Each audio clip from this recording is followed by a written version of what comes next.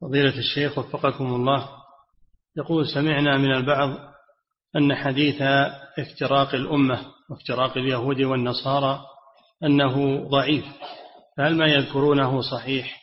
لا ما هو صحيح. الحديث خرج وبين وبينت رواياته وما هو ضعيف إن كان ضعيفا من طريق فإنه يكون صحيحا من طريق آخر ومن مجموع الطرق. نعم.